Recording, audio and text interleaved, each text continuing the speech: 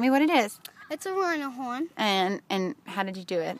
Oh, You just, just- stuck it on there? well, you just open this part and take the seed out of it, and then you stick it on real tight right here, and then it stays on for a long time. Only boys. Because I only just did the little helicopter things with them Oh, when I was a kid.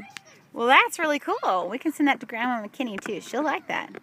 hey, Poppy's back up. Okay. Love you.